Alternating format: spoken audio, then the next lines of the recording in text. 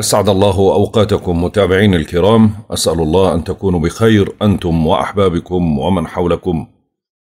طبعا اليوم توقعاتنا ليوم الخميس 6 8 القمر ما زال موجود في الحوت في منزلة المؤخر وهي منزلة للربح والعلاج والإتلاف والتفريق والضرر.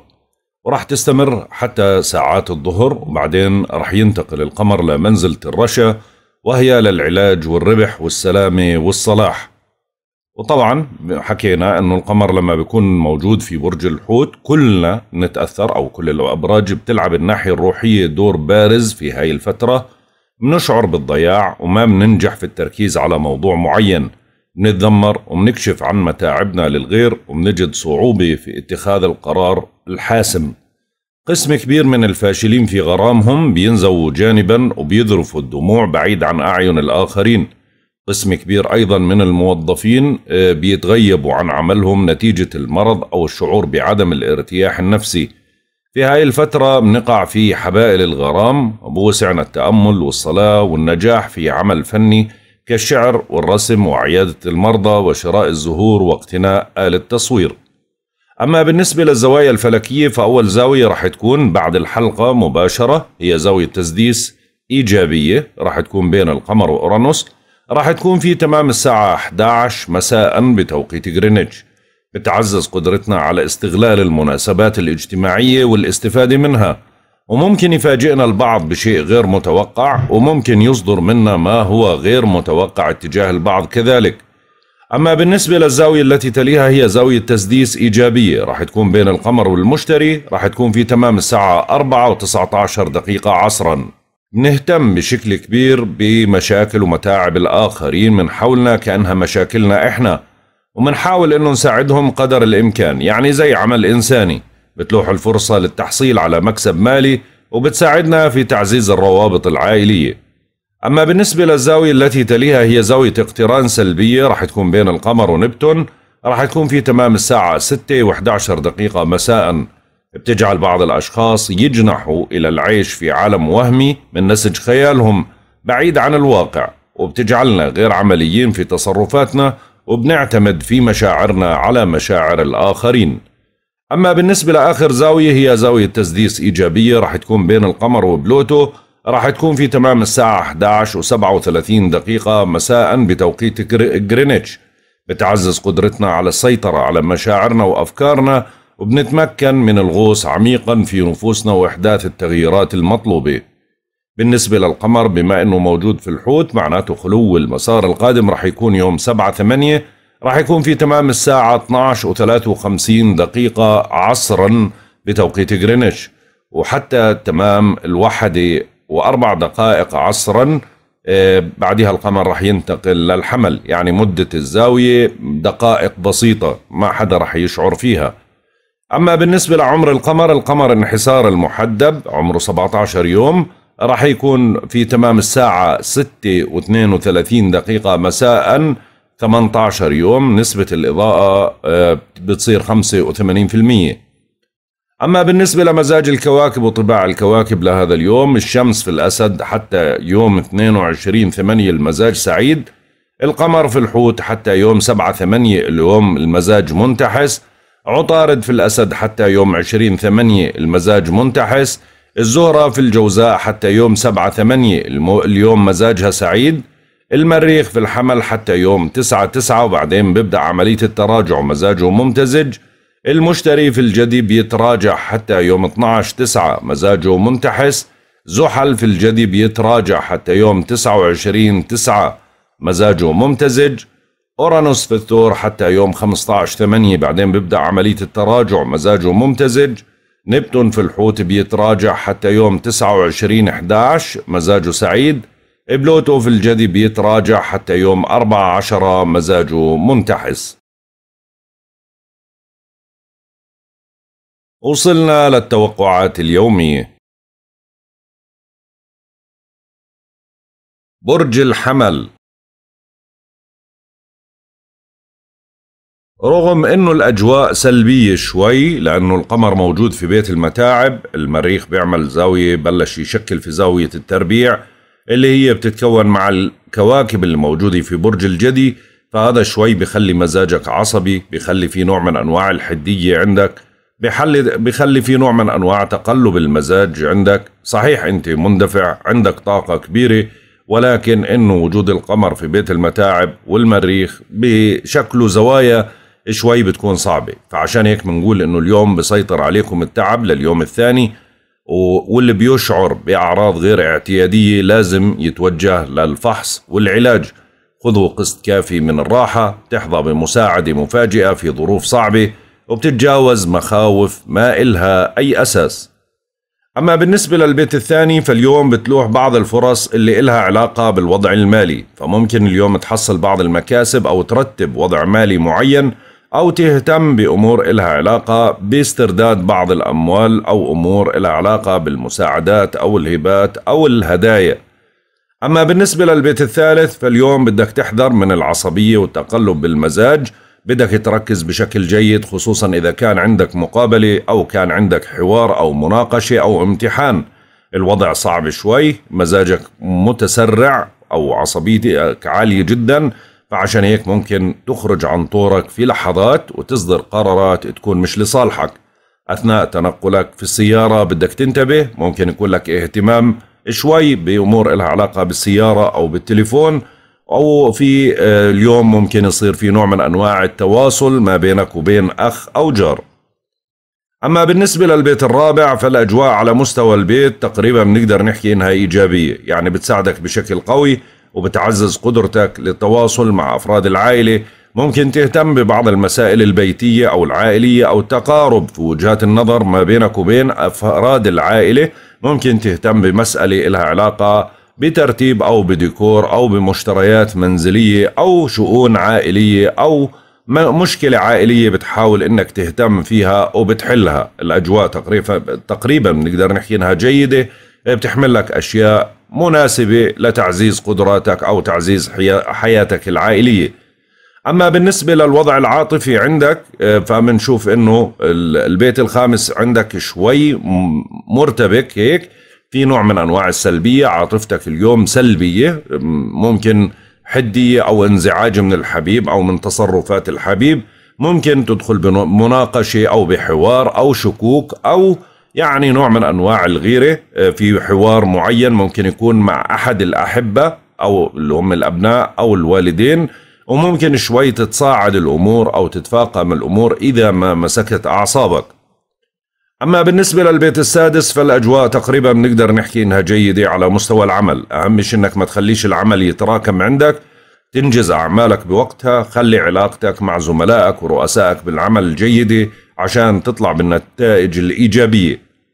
أما بالنسبة للبيت السابع فالأجواء تقريبا بنقدر نحكي إنه فيها نوع من أنواع الاعتيادية ولكن ممكن تدخل ببعض الحوارات أو النقاشات أو القرارات اللي شوي ممكن يكون فيها نوع من أنواع الصعوبة أثناء تعاملك مع الشركاء وخصوصا شركاء المال وشركاء العاطفة وهم بالتحديد الأزواج. فممكن اليوم تحتد بمسألة أو يخالفك بمسألة أو إنه يصير في سوء تفاهم ما بينكم بدكم تكونوا حذرين. أما بالنسبة للبيت الثامن فالأجواء تقريبا بنقدر نحكي إنها إيجابية على مستوى الأموال المشتركة. فممكن اليوم تحقق بعض النتائج الإيجابية اللي إلها علاقة ببنك أو ضريبة أو تأمين أو أموال لإلك بتحاول إنك تحصل منها أو تهتم ببعض المشاريع أو الأفكار اللي إلها علاقة باستثمار جديد أو دعم جديد له علاقة بتطوير الوضع المالي. أما بالنسبة للبيت التاسع فالأجواء ضاغطة على مستوى التنقلات والحوارات والاتصالات وخصوصا أثناء التعامل مع أجانب. فممكن تتلقى اتصال من الخارج أو خبر يجيك من خارج البلاد يكون مزعج فيوترك ويخليك شوية تكون عصبي أو حاد الطباع. ممكن يتأخر موضوع له علاقة ببريد أو بالاستيراد والتصدير أو بأمور لها علاقة بالمؤسسات التعليمية أو ممكن أوراق قانونية أو معاملات شوي تتطلب منك جهد لإتمامها أما بالنسبة للبيت العاشر فالأجواء بنقدر نحكي إنها إيجابية اليوم على مستوى بيت السمعة وبتعزز من علاقتك مع اللي هم الأفراد اللي بيشتغلوا معك في مكان العمل. فممكن تدافع عن سمعتك اليوم ممكن تعزز نقاط قوية تكون لصالحك ممكن إنك تهتم بمسألة عمل معين ممكن تسمع نوع من أنواع الإطراء ولكن بدك تنتبه إنه التعطيلات واردة في هذا الموضوع بسبب القمر الموجود في بيت المتاعب فممكن تتعطل بعض المسائل أو ما تمشي معك بسهولة. أهم شيء إنك تكرر المحاولة. أما بالنسبة لبيتك 11 فأنا شايف الأجواء يعني فيها نوع من أنواع السلبية. ممكن تنزعج من أحد الأصدقاء أو خبر عن أحد الأصدقاء يزعجك أو يوترك أو يسبب لك نوع من أنواع الإرباك. حاول إنك أنت تتعامل بالموضوع بشكل مرن جدا. إذا توجهت لك دعوة أو حضور حفلة أو مناسبة حاول إنك ما توجه انتقادات وما تكون لاذع أو متهور بالكلام. وبالنسبة لبيت المتاعب ذكرناه في بداية الحلقة إنه الأوضاع يعني صعبة بتأثر على بيت متاعبك وبتأثر على بيتك الشخصي. فعشان هيك بدك تتقبل اليوم أي أمور فيها نوع من أنواع التعطيلات. أهم شيء إنك ما تبادر بشيء جديد. حاول إنك تراقب عملك بشكل جيد انجز الأعمال وما تخليها تتراكم. حاول تراقب وضعك الصحي بشكل جيد. الأجواء مش مساعدة. يوم والقمر بنتقل لعندك وبصير الأجواء أحسن. برج الثور. طبعا بالنسبة للبيت الأول الوضع إيجابي اليوم. حاول أنك تنجز كل الأعمال المطلوبة منك قبل ما يوصل القمر لبيت المتاعب للحمل فراح يرهقك بالفترة القادمة. فعشان هيك لازم اليوم تستغل الفرص الإيجابية لإنجاز أعمالك. حاول أنك تعمل الأشياء الضرورية والمهمة. حاول أنك تسيطر على تقلباتك النفسية. حاول أنك ما تنفعل وما تعصب. بتمشي الأمور معك بشكل جيد إن اهتميت بالمسائل بشكل عقلاني. فابعد عن العاطفة شوي على أساس أنك أنت تقدر تنجز أعمالك اليوم بشكل جيد. عندك ثقة بنفسك عالية وبرضو اهتماماتك الشخصية ممتازة. أما بالنسبة للبيت الثاني فاليوم ممكن تتكاثر عندك بعض المصاريف أو الدفعات أو الالتزامات. ممكن تتوتر لمسألة مالية أو ظهور مسألة مالية مربكة. ممكن تأخير أو تعطيل أو خصم عليك أو ممكن أنه آه، دفعات زيادة أو التزامات زيادة. يعني الأجواء فيها نوع من أنواع الإرباك على الوضع المالي. بتتطلب منك التركيز بشكل جيد ما تندفع وما تتهور بالمصاريف الزيادة. أما بالنسبة للبيت الثالث فالأجواء جيدة وبتدعمك بقوة على مستوى اتصالاتك وحواراتك. عندك سرعة بديهة عالية وقدرة على الإقناع عالية جدا. اليوم إذا كان عندك مقابلة أو كان عندك امتحان مثلا أو مناقشة راح تكون الأمور جيدة. ولكن ما تعتمد على الحظوظ يعني احتياطا حاول إنك تركز وتدرس وتستعد بشكل جيد عشان الظروف تكون لصالحك بشكل قوي. أهم شيء إنه اليوم ممكن يكون لك تعامل جيد أو إيجابي ما بينك وبين أخ أو جار أو ممكن تكثر عندك التنقلات وأمور التسويق أو الإقناع. أما بالنسبة للبيت الرابع فاليوم بدك تنتبه من حدية الطباع أو المشاكل أو سوء التفاهم أو ظهور خلاف معين على مستوى البيت.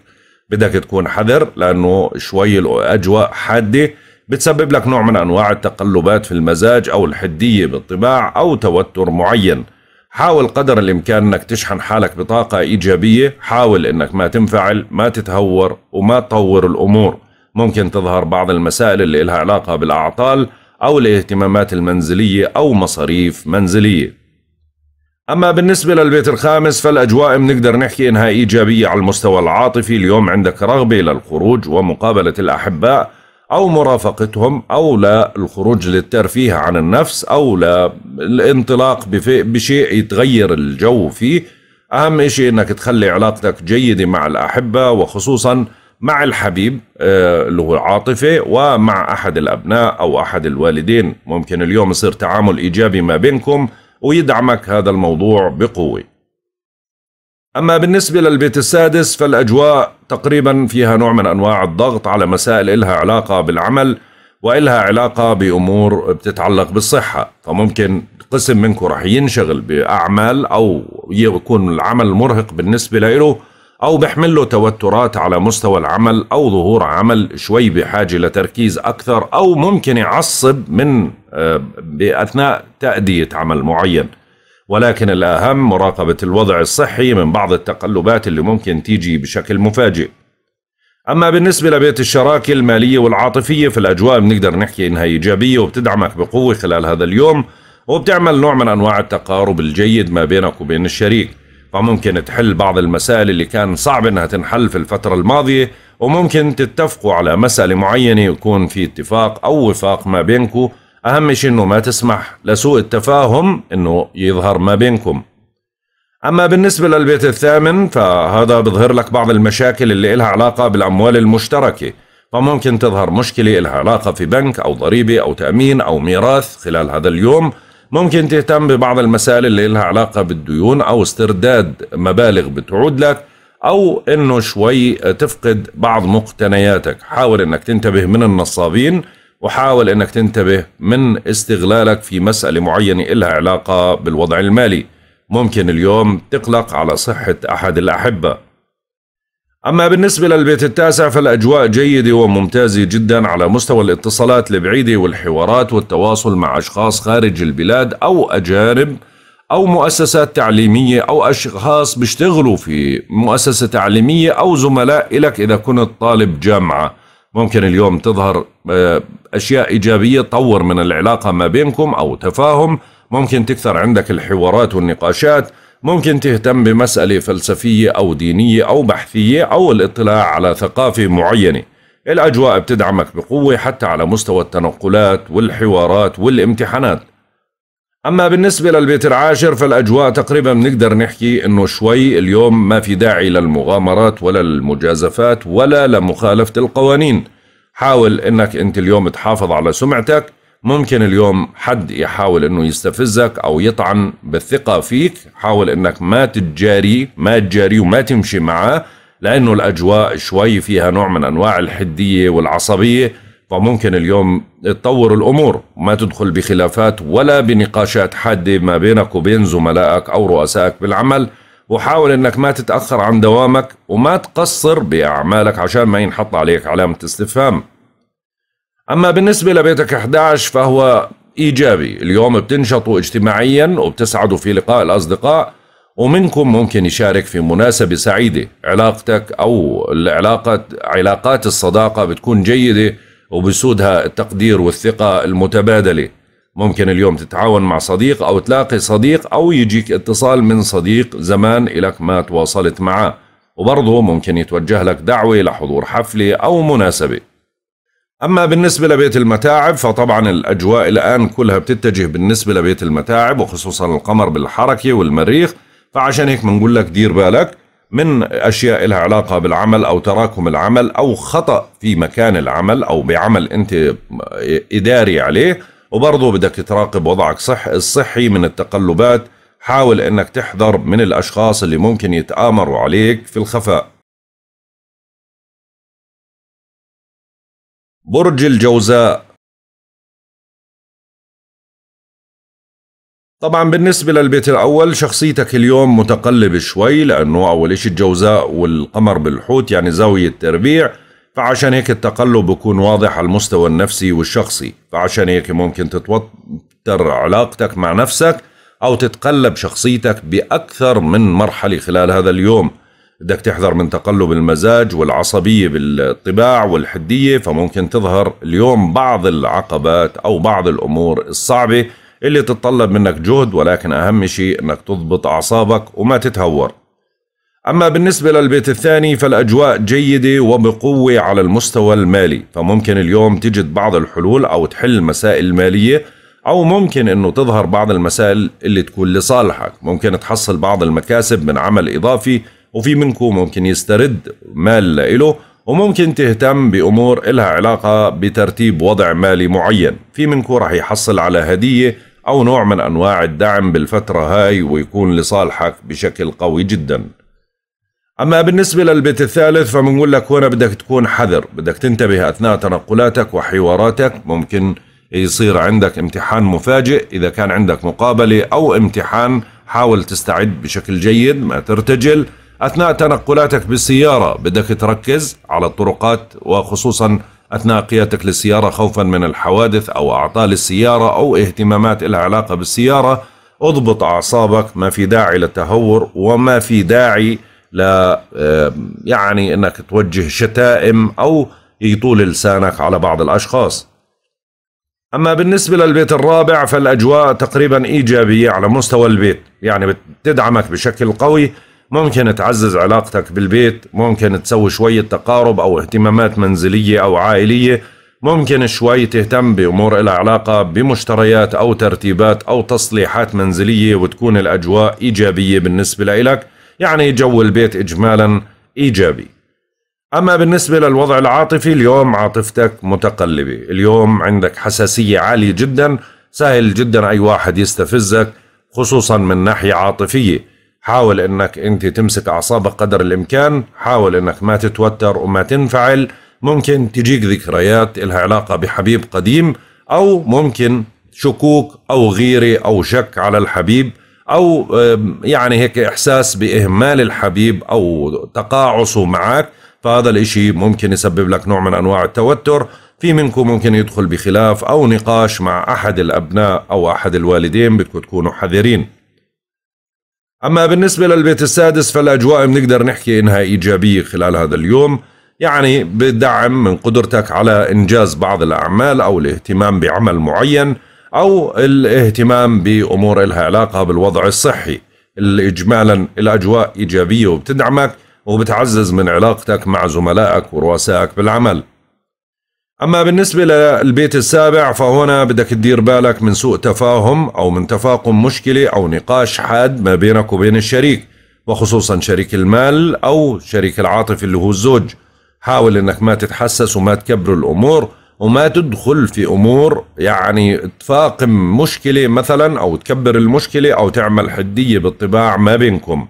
يعني خلي الأمور سلمية وابعد عن التحسس لأنه مزاجك بدك تعتبر إنه هو المتقلب خلال هذا اليوم. أما بالنسبة للبيت الثامن فالأجواء جيدة وبتدعمك بقوة على مستوى القروض والديون وسداد الديون وجدوله الديون والاهتمامات البنكية أو الضريبة أو تأمين أو أمور لها علاقة بميراث. يعني الأجواء كلها بتدعمك بشكل قوي اليوم. ممكن الطالب بمستحقات أو الطالب بديون لإلك أو الطالب بأموال لإلك. ممكن تجد إشي كنت فاقده إلك فترة. أما بالنسبة للبيت التاسع بدك تدير بالك أثناء تقديم امتحانات أو مناقشات اليوم أو مقابلات. بدك تكون مستعد بشكل جيد. حاول إنك ما تعصب حاول إنك ما تكون سهل الاستفزاز. ما تخلي حد يستفزك أو يأثر عليك بشكل سلبي. وخصوصا أثناء النقاشات والحوارات ممكن تتلقى اتصال أو معلومه أو خبر عن شخص خارج البلاد أو أجنبي عنك. شوي هيك يسيئك أو تستاء منه أو إنه هيك تشعر بخيبة الأمل. أما بالنسبة للبيت العاشر فالأجواء جيدة على مستوى بيت السمعة. اليوم يوم مناسب للي بيبحث عن عمل أو بيرغب في إدخال تعديل على طبيعة عمله. اليوم تقدروا تعززوا العلاقة مع المسؤولين. اليوم تحظى بشعبية وبتكون كل أعمالك سهلة وميسرة وممكن تحقق نجاح شخصي. أما بالنسبة لبيت الأصدقاء اليوم ممكن أنت تبعد عن الأصدقاء شوي أو ما يكون لك رغبة بالتواصل مع حد. حابب أنك تأخذ نوع من أنواع الاستراحة أو أنه هيك بكون لك ما عندك الحرارة للتواصل مع الغير. شوي بتحب أنك تنزوي على جانب هيك ممكن بس الأعمال الروتينية أو الاتصالات العادية ممكن تجبر على زيارة أو آه، هيك لا يعني لمة أو موضوع له علاقة بالتواصل ولكن داخليا أنت مش مرتاح وحابب أنك أنت تكون مع نفسك أكثر.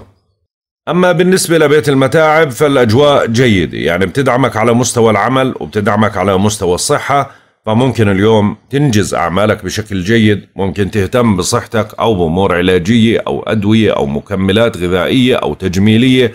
ممكن تهتم بنفسك زيادة.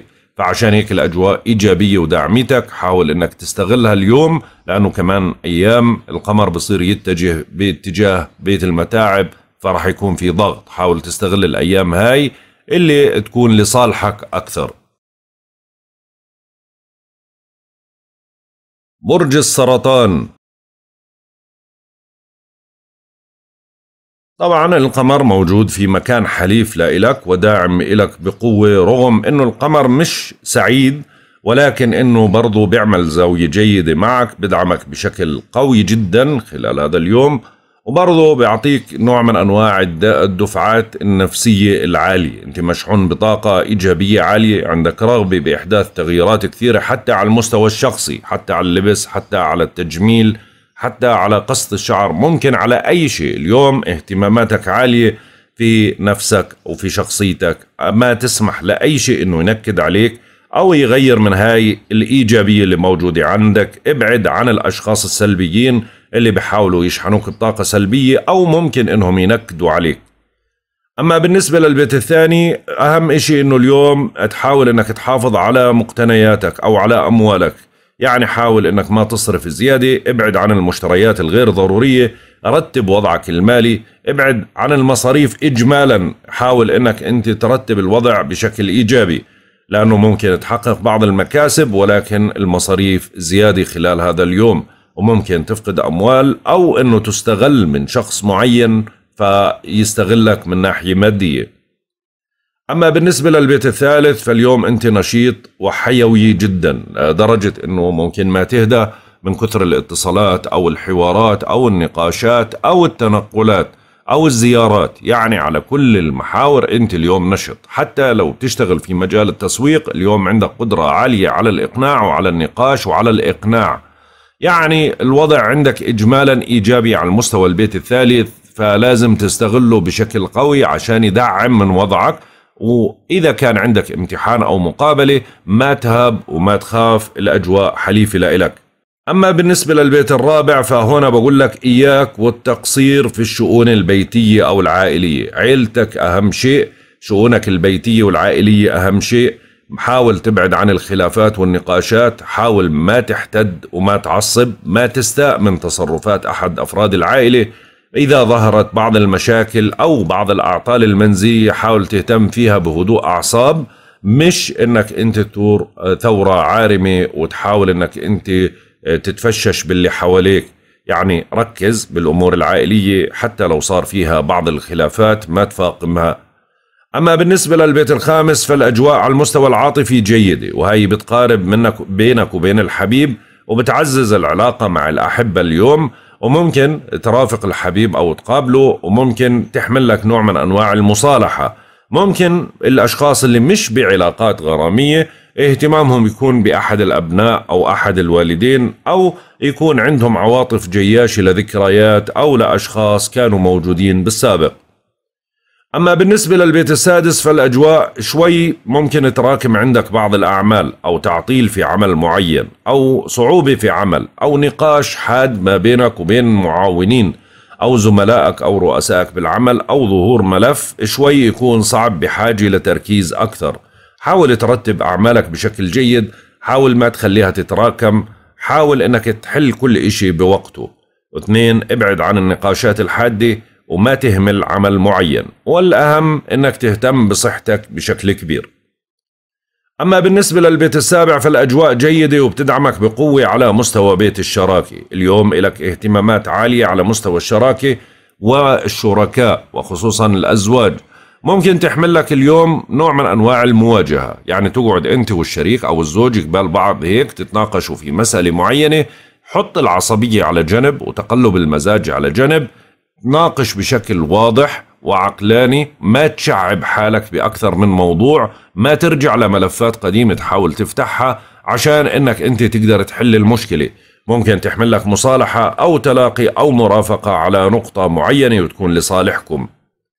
أما بالنسبة للبيت الثامن برضو بنرجع للموضوع المالي دير بالك من أعطال إلها علاقة بالوضع المالي أو المصاريف حافظ على ممتلكاتك ومقتنياتك من السرقة أو الضياع وابعد عن المحتالين قدر الإمكان.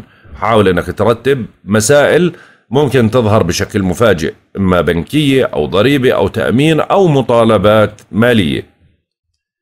أما بالنسبة للبيت التاسع فالأجواء زي ما حكينا القمر موجود في البيت التاسع بيدعمك بقوة. فعشان هيك راح يكون التركيز اليوم على التنقلات وعلى قيادة السيارة على آه، الأجانب. على المؤسسات التعليمية. أهم شيء تكونوا أكثر صبر ووعي على الطرقات خاصة أثناء قيادة السيارة بين المدن. بتشعروا بقوة العاطفة. عندكم أحلام وأفكار بالسفر أو رغبة بالسفر لكن الظروف ممكن مش مساعدة. ممكن اتصالات أو تواصل مع أشخاص خارج البلاد تكون الرغبة برضو قوية أو التعامل مع أجانب أو أشخاص من دولة ثانية. وبرضو التفكير بقيام بمشاريع كبيرة. الأمور حليفة لإلكم وبرضو الأجواء جيدة.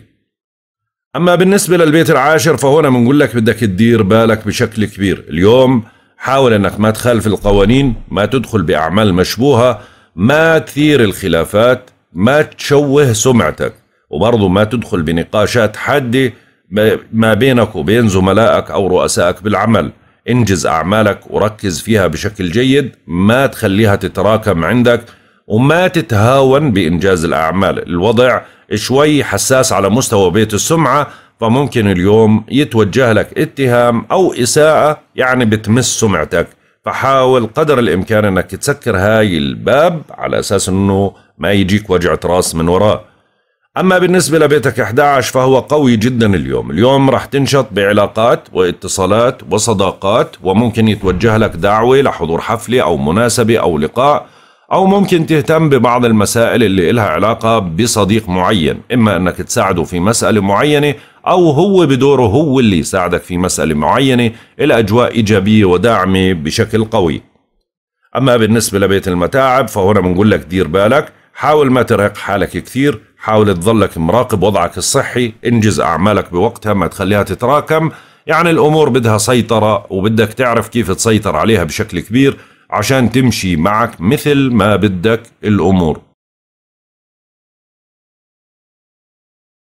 برج الأسد. يعني اليوم مش هالقوة الكبيرة. يعني صحيح إنه عطارد صار موجود ولكن عطارد محترق. يعني بمعنى آخر ما بشكل زوايا. لسه ما أعطانا الإيجابية.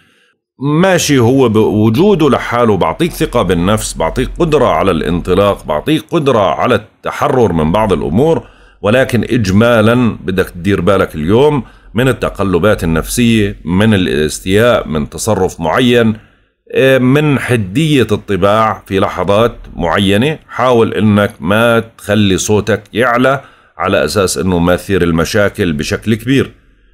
أما بالنسبة للبيت الثاني فالأجواء إيجابية. اليوم ممكن تحصل على مكسب مالي من عمل إضافي أو مستردات أو هبات أو دعم أو هدية. ولكن أهم شيء دير بالك من المصاريف الزائدة دير بالك على مالك من السرقة أو الضياع. ما تغامر بمشاريع أو بأشياء ممكن تتطلب منك مصاريف زيادة.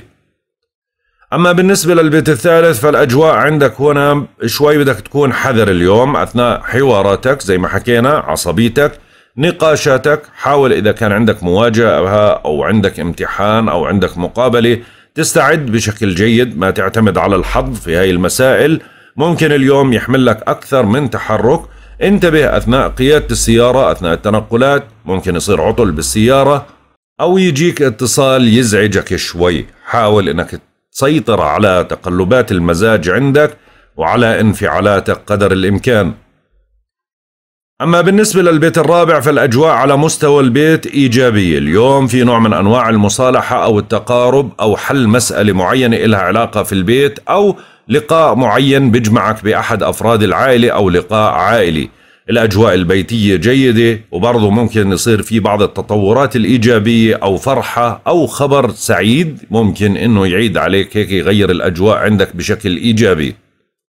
أما بالنسبة للبيت الخامس فالأجواء شوي بيكون فيها نوع من أنواع الحدية أو السلبية أو الاستياء من الحبيب أو زعل أو عتب على الحبيب. ممكن شوي موقف معين يستفزك ممكن تتطور أمور معين ممكن أمور إلها علاقة بالغيرة أو الشك أو إلها علاقة باكتشاف مسألة معينة بتتعلق بالحبيب شوي تخليك تتوتر خلال الفترة هاي. ممكن سوء تفاهم ممكن تصرف شوي ينحسب باتجاه سلبي. فأهم إشي إنك ما تكبر الأمور. ممكن تدخل بنقاش أو حوار حاد جدا يكون ما بينك وبين أحد الأبناء أو أحد الوالدين أو خلاف أو اختلاف في وجهات النظر. أما بالنسبة للبيت السادس فالأجواء تقريبا بنقدر نحكي إنها إيجابية. اليوم تقدر تنجز أعمالك بشكل قوي جدا وممكن اليوم تنشط بعمل أو تطوير عمل معين. عندك رغبة عالية جدا بتطوير الأمور العملية وممكن تنجز ملف أو معاملة أو شيء بتعلق بالعمل كان صعب إنك تنجزه بالفترة الماضية. وبرضه ممكن يكون لك بعض الاهتمامات أو نتيجة لوضع صحي معين تكون إيجابية. وممكن برضو يعني إذا كنت تشعر بالتعب أو بالمرض بالفترة الماضية ممكن اليوم تتماثل للشفاء أو تحس أنك أحسن من الفترة الماضية. أما بالنسبة للبيت السابع فهنا برضو ما زالت الأجواء فيها نوع من أنواع سوء التفاهم أو الحدية بالطباع أثناء التعامل مع الشركاء وخصوصا شركاء المال والعاطفة والأزواج تحديدا. حاول تبعد عن المشاحنات حاول تبعد عن سوء التفاهم عن الضغط ما في داعي لتوترات أو تكبر الموضوع أو تصعد الخلاف ما بينكم. خلي يكون في نوع من أنواع التفاهم والفترة هاي مش مناسبة لرفع القضايا. أما بالنسبة لبيتك الثامن فالأجواء تقريبا نقدر نحكي إنها إيجابية على المستوى الأموال المشتركة لأنه القمر هو فعليا موجود في البيت الثامن. بدعمك في بعض المسائل ولكن بحذرك من بعض المسائل. فعشان هيك اليوم تنشغلوا في إعادة تنظيم أموركم المالية. من جهة ثم فرصة لمكسب مالي من شراكة أو تعويض ولكن من جهة أخرى ثم نفقات متصاعدة. بزيد اهتمامك بالأشياء الغامضة والروحانيات والكتب الخيالية. أما بالنسبة للبيت التاسع فالأجواء شوي بتحمل نوع من أنواع سوء التفاهم. نقدر نحكي بدناش نحكي أكبر من هيك. أو الحدية بالطباع أثناء مقابلة أو مناقشة أو حوار. أو تعامل مع أجانب أو أشخاص خارج البلاد. ممكن شوي تتوجه لك إساءة أو اتهام أو ممكن يعني سوء تفاهم على مسألة معينة. ما في داعي أثناء النقاشات إنك تحتد وتعصب آه، تزمتا لرأيك. حاول تكون مرن قدر الإمكان وما تصعد الأمور وما تكبرها. أما بالنسبة للبيت العاشر فالأجواء إيجابية جدا على مستوى بيت السمعة. وهاي بتدعمك على مستوى بيت سمعتك بيت مركزك الاجتماعي وبيت عملك. اليوم مناسب لتقديم لعمل جديد أو تقديم طلبات أو مقابلات الأهم أنك تكون مستعد. حاول تخلي علاقتك ما بينك وبين زملائك أو رؤسائك بالعمل جيدة ما في داعي لأنك تكبر الأمور ولا تفاقمها ولا توصل لمرحلة لا طريق مغلقة ما بينكم في التفاهم. وانجز أعمالك بوقتها وحاول ما تتغيب عن دوامك اليوم. أما بالنسبة لبيتك 11 اليوم ما عندك رغبة لا للمقابلة ولا اللقاءات ولا حتى للرد على الاتصالات. شوي بتقتصرها على أشخاص معينين لقاءات معينة ممكن إذا توجهت لك دعوة لحضور حفلة أو مناسبة تكون حد طباع أو مزاجك ما بتقبل هاي اللمة أو ممكن تستاء من أحد الحضور أو مثلا تنزعج من موضوع معين. حاول قدر الإمكان ما تدخل بخلافات ما بينك وبين أصدقائك. الفترة هاي مش مناسبة للحوارات والنقاشات أو المعاتبة. أما بالنسبة لبيت المتاعب فهو بدعمك على آه، مستوى العمل بدعمك على مستوى الصحة زي ما حكينا. حاول إنك تنجز أعمالك بوقتها ما تخليها تتراكم. حاول إنك تسير أمورك بشكل جيد. الأجواء بلشت تأخذ منحنى إيجابي. إيه يعني يوم كمان القمر بصير موجود بالحمل بدعمك بقوة أكبر وبساعدك بإنجاز أمور بشكل أوفى وأحسن وبتكون لمصلحتك بشكل كبير. الأهم أنك ما ترهق حالك وراقب تقلبات الصحية. صحيح أنه ما في خطر وأنه الوضع إيجابي على المستوى الصحي ولكن إذا بترهق حالك كثير ممكن أنه تشعر ببعض التوعكات. برج العذراء. طبعا اليوم بما إنه القمر صحيح موجود مقابلك مباشرة مكانه بدعمك على مستوى الشراكة ولكن بالمقابل هو بيسحب من طاقتك فعشان هيك بتحس حالك متقلب بالمزاج حاد الطباع شوي نفسيتك مش مرتاحة سهل استفزازك آه، سهل جدا إنك تدخل في مرحلة اكتئاب. أي شخص ممكن يشحنك بطاقة سلبية اليوم ويأثر عليك. حاول تبعد عن الخلافات والنقاشات حاول تخرج وتلتقي الناس عشان تستفيد من بعض الإيجابيات اللي ممكن إنها تكون خلال هذا النهار. الوضع يعني في إيجابية ولكن بتطلب منك نوع من أنواع الجهد. أما بالنسبة للبيت الثاني فهون بدك تحذر من المصاريف الزيادة والدفعات والالتزامات. ممكن تظهر بعض المسائل المالية اللي شوية تكون مربكة أو ممكن إنها تتطلب منك دفعات بشكل مفاجئ. ممكن يعني يستغلك بعض الأشخاص بمسألة علاقه لها علاقة بالوضع المالي. حاول قدر الإمكان إنك أنت ما تنجر ورا المصاريف والدفعات وصرف الفلوس. رتب وضعك المالي على حسب إمكانياتك وعلى حسب قدراتك. أما بالنسبة للبيت الثالث فالأجواء جيدة. اليوم عندك قدرة على الإقناع والحوار سرعة بديهة عالية رغبة بالاتصالات يعني في أشياء بتشجعك وبتدعمك بقوة خلال هذا اليوم. ممكن تنجز كثير من الأمور أو الاهتمامات بشكل كبير. برضو إذا كان عندك مقابلة أو مناقشة اليوم رح تبدع. ولكن الأهم أنك ما تعتمد على الحظوظ حاول أنك تعتمد على ثقتك بنفسك وجهدك واستعدادك لهذه الأمور. ممكن يكون لك اهتمام على بمسألة بتتعلق بالسيارة أو بتليفون أو بأخ أو جار. أما بالنسبة للبيت الرابع فهنا بدك تدير بالك من خلاف أو نقاش أو حوار على مستوى البيت. ممكن تظهر مسألة بيتية شوي معقدة أو تستفزك أو تخليك تدخل بمواجهة أو تحتد أو تعصب خلال هذا اليوم. حاول إنك ما تتوتر وما تعصب وما تستاء. انجز أعمالك بطريقة عقلانية خلي حوارك العائلي بناء. حاول إنك تمتص آه، قدر الغضب اللي موجود جواتك ما تخليه يظهر على الساحة على أساس إنه ما تكون الأمور ضدك. حاول تبعد عن الانتقادات وتوجه الكلام اللاذع للي حواليك. أما بالنسبة للبيت الخامس فالأجواء جيدة وبتدعمك بقوة خلال هذا اليوم. فاليوم في مجال آه، حل مسألة عاطفية أو تراجع عن قرار سابق أو تلاقي ما بينك وبين الحبيب. ممكن اليوم يصير في تعامل جيد ما بينك وبين أحد الأبناء أو يطمئن بالك من مسألة معينة. ممكن يدعمك الحظ في مسألة ما كنت تتوقع أنه يكون الحظ حليفك في هاي الفترة. إجمالا الأجواء إيجابية على المستوى العاطفي وبرضه بتعزز من علاقاتك مع الأحبة. أما بالنسبة للبيت السادس الأجواء على مستوى العمل ممكن تظهر لك بعض التوترات أو بعض الخلافات أو الملفات الصعبة.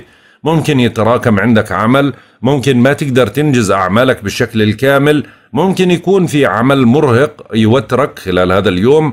أهم إيش أنك تستعد بشكل جيد ما في داعي أنك تهمل ما تتأخر وما تتغيب عن دوامك. حتى لو عملت بساعات إضافية المهم أنك أنت تتمم العمل وراقب تقلبات الصحية اليوم. ممكن تظهر بعض المسائل الصحية اللي شوي تربكك أو تخليك شوي مش مرتاح.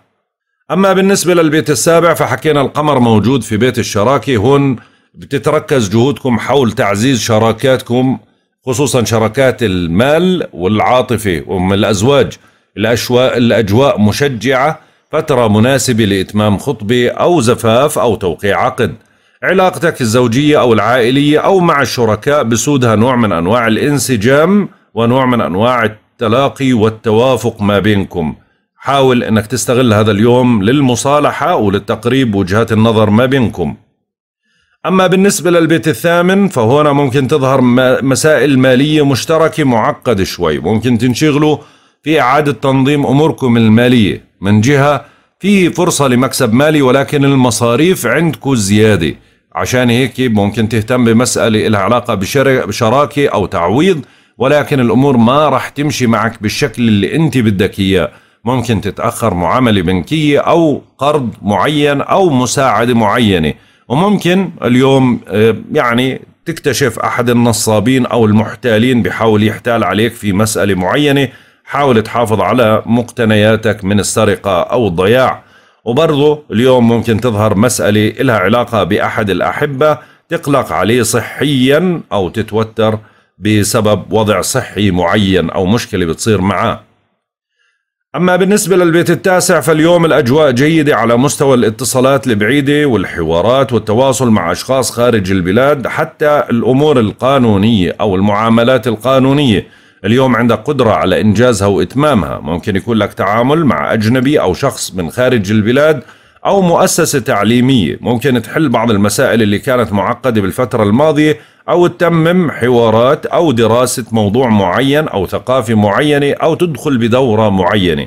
يعني أمور الدراسة إجمالا اليوم الاهتمامات رح تكون فيها عالية. أما بالنسبة للبيت العاشر فهنا بنقول لك دير بالك من تشويه السمعة. دير بالك من المجازفة والمغامرة والدخول في أشياء مشبوهة. حاول تحافظ على سمعتك قدر الإمكان. حاول ما تتغيب ولا تتأخر عن دوامك عشان ما يتوجه لك لفت نظر أو إنذار أو مساءلة. ما تدخل بخلافات حادة ما بينك وبين زملائك أو رؤسائك بالعمل. حاول إنك تكون مرن. أما بالنسبة لبيتك 11 فالأجواء جيدة وبتوعدك اليوم أو بتعدك بنوع من أنواع العلاقات الاجتماعية أو اللقاءات. فممكن اليوم يتوجه لك دعوة لحضور حفلة أو مناسبة أو لقاء وممكن اليوم تنشط في أمور اجتماعية أو بتواصل مع أصدقاء ممكن يساعدوك في مسألة معينة. الأجواء إيجابية بتدعمك بقوة وممكن أنك تجد حليف يدعمك ويدعم تصوراتك. أما بالنسبة لبيت المتاعب فضاغط شوي فعشان هيك ومش شوي وضاغط كثير أساسا لأنه الشمس موجودة في بيت المتاعب. ولكن بدك تهتم أول إشي لعملك وتهتم لصحتك بشكل كبير. هذول النقطتين اللي بيهدد فيهم دائما بيت المتاعب دائما بيحمل نوع من أنواع التعطيل بيحمل نوع من أنواع تراكم الأعمال حدية بالطباع آه، تراجع عن بعض الأمور اللي بتكون لصالحك. ممكن توعد بشيء وما يتم تنفيذه بالفترة هاي بدك تكون مهيأ وما تعتمد على الحظ نهائيا. وتتقبل فكرة إنه في تعطيل في الفترة هاي الأيام الجاية بتحمل لك نوع من أنواع الإيجابية إن شاء الله. يعني ما ظل راح كثير وظل القليل وبعدين الشمس بتوصل لعندك. برج الميزان. طبعا اللي اليوم القمر ما هو كان بالبيت الخامس يعني كان حليف لإلك. انتقل الآن للبيت السادس. عشان هيك اليوم بتحس نفسيتك شوي مش ولا بد. في تقلب بالمزاج عندك حدية بالطباع عندك ردات فعل سلبية. يعني شوي الأجواء مش لصالحك. يعني بتحس إنه شوي أنت متوتر أو منفعل أو حساس زيادة عن اللزوم. فممكن تتفاقم عندك الأمور أو تحتد في لحظات معينة أو يتقلب المزاج عندك. حاول تبعد عن السلبية حاول إنك تحتك بالمجتمع أكثر عشان تطلع من الضغط اللي أنت عايش فيه. حاول إنك ما تخلي آه، أي طاقة سلبية أو واحد بده يتشكون أو يشكي لك أو يشكي منك إنه يأثر عليك بشكل كبير. حاول إنك تسيطر على نفسيتك وعلى انفعالاتك. أما بالنسبة للبيت الثاني فالأجواء اليوم تحمل لك فرص إلها علاقة بالوضع المالي. ممكن تحصل على بعض الأموال اللي بتجيك من عمل إضافي أو مستردات أو هبات أو نوع من أنواع الدعم. يعني الأجواء بتفتح لك بعض الإيجابيات. ممكن تجيك هدية معينة أو مصالحة معينة أو دعم معين مالي أو تحل مسألة مالية كانت معقدة بالفترة الماضية. أما بالنسبة للبيت الثالث فالأجواء مشحونة وسلبية على مستوى الحوارات. يعني مزاجك شوي بكون عصبي أو حاد الطباع إلك ردات فعل سلبية. حاول تضبط أعصابك قدر الإمكان ما تفاقم الأمور وما تكبرها. ما تحاول أنك تدخل في مجازفات أو مشاحنات. حاول أنك تبعد عن المغامرات. انتبه أثناء قيادتك للسيارة. ممكن اليوم تواجه عطل معين له علاقة بالسيارة أو بالتليفون. أو نقاش حاد ما بينك وبين أخ أو جار. حاول أنك تبعد عن المشاحنات قدر الإمكان. في اليوم برضو بدك تنتبه إذا كان عندك مقابلة أو مناقشة أو امتحان بدك تستعد بشكل جيد وما تعتمد على الحظوظ.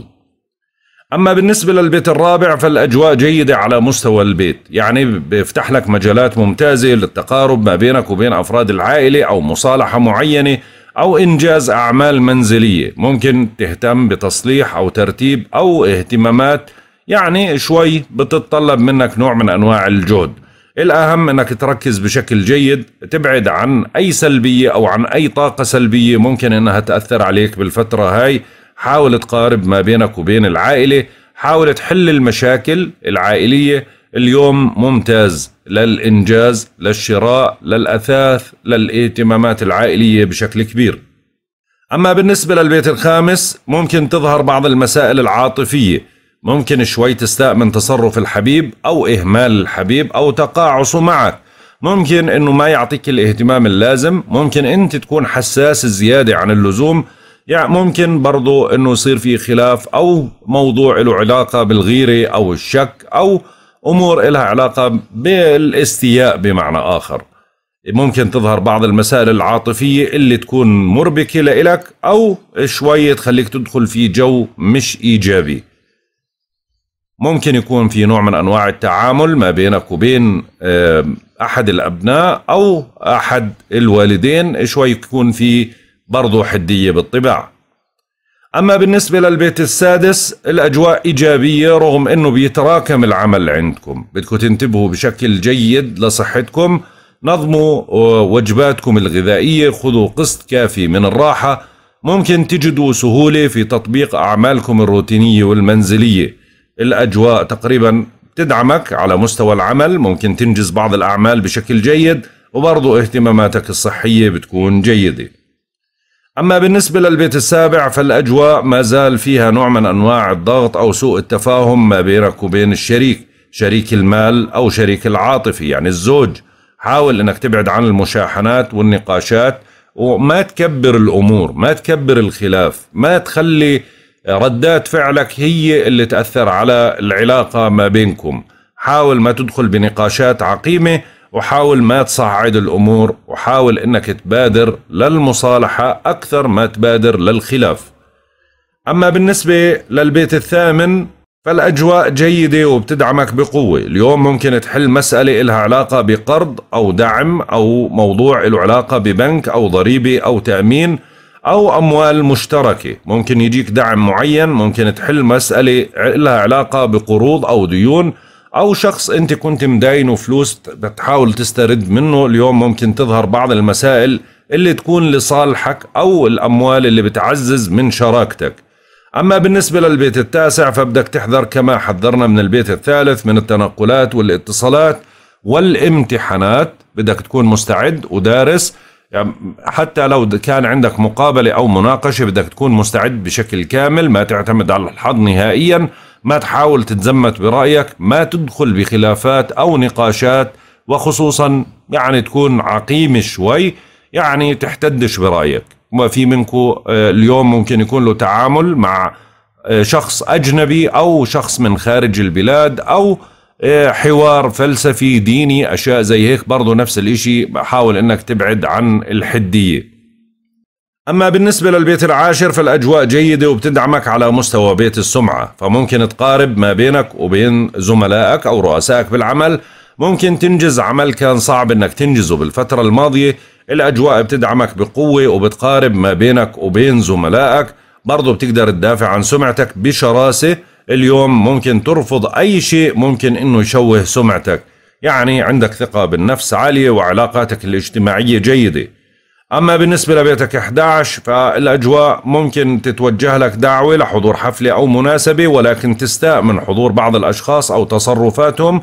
ممكن تزعل من صديق أو من سوء تقدير أو سوء تصرف.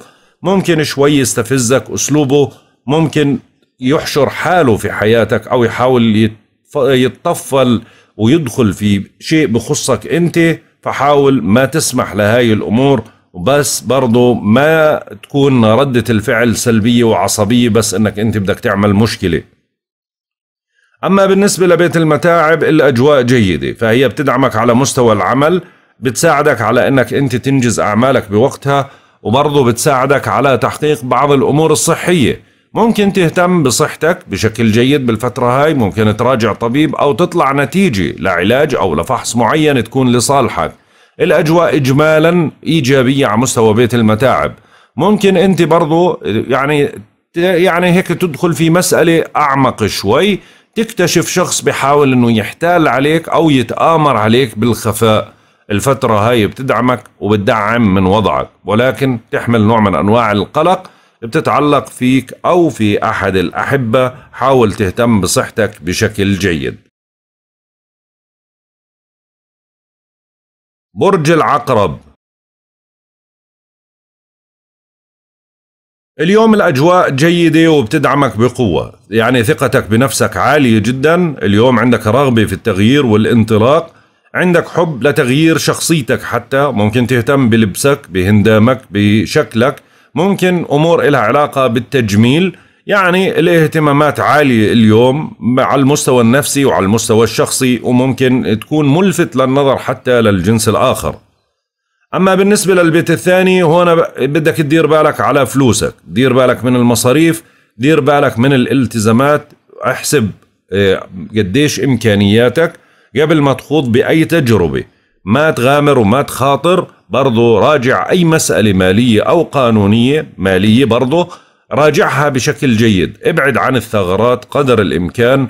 حاول إنك تبعد عن المشاريع المالية خلال هذا اليوم. الوضع مش مساعد بالنسبة لك ماليا. يعني بدك شوية تركيز. أما بالنسبة للبيت الثالث فالأجواء جيدة وممتازة جدا على مستوى الاتصالات والحوارات والتنقلات. بتهتم بمسألة لها علاقة بالسيارة أو بأخ أو جار أو بموضوع له علاقة بالتليفونات.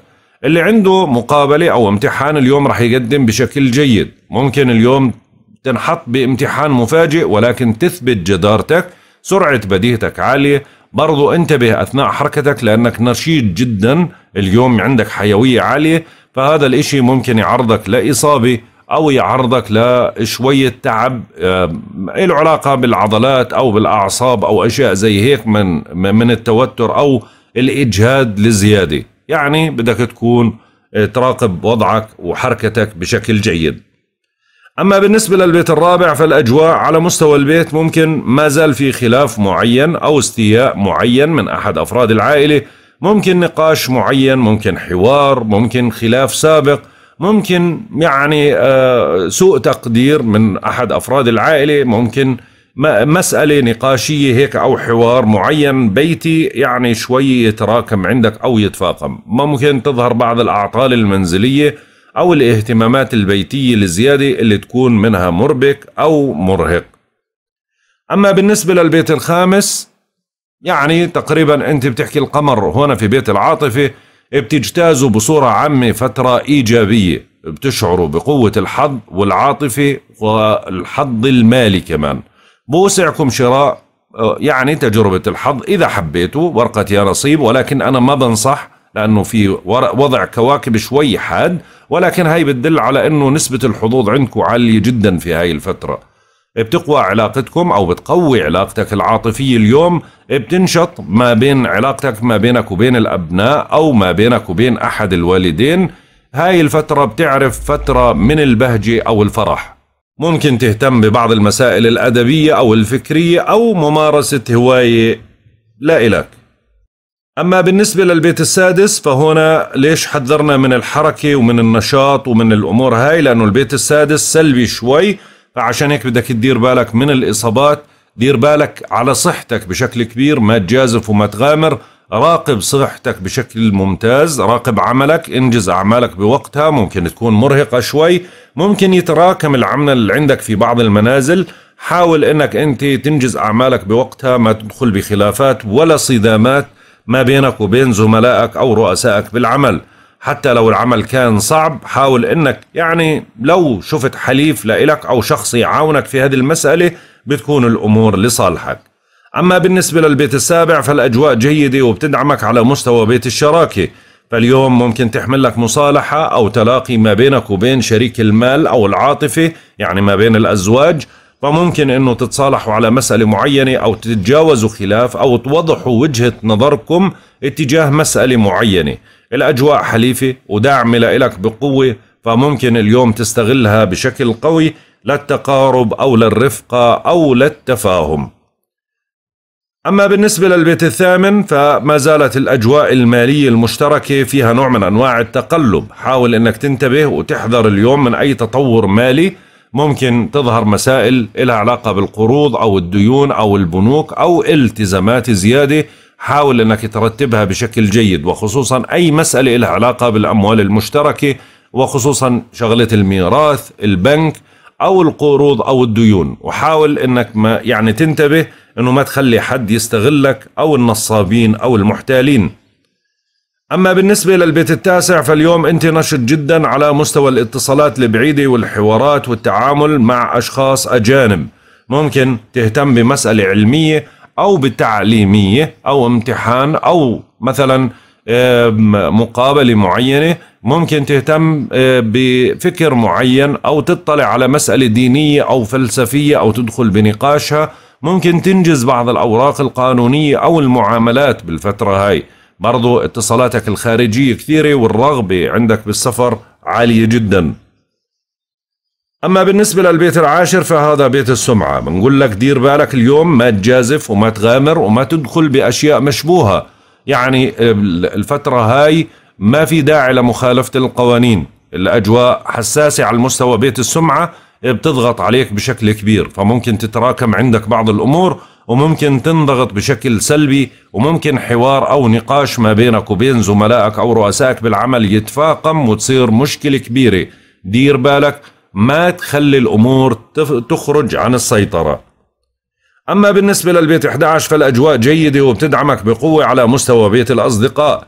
فممكن اليوم تحمل لك لقاء أو دعوة لحضور حفلة أو مناسبة أو لقاء بعض الأصدقاء أو اتصال من صديق كان يعني له فترة ما تواصل معك أو يجي لك رغبة تتواصل مع بعض الأصدقاء لك زمان ما تواصلت معهم.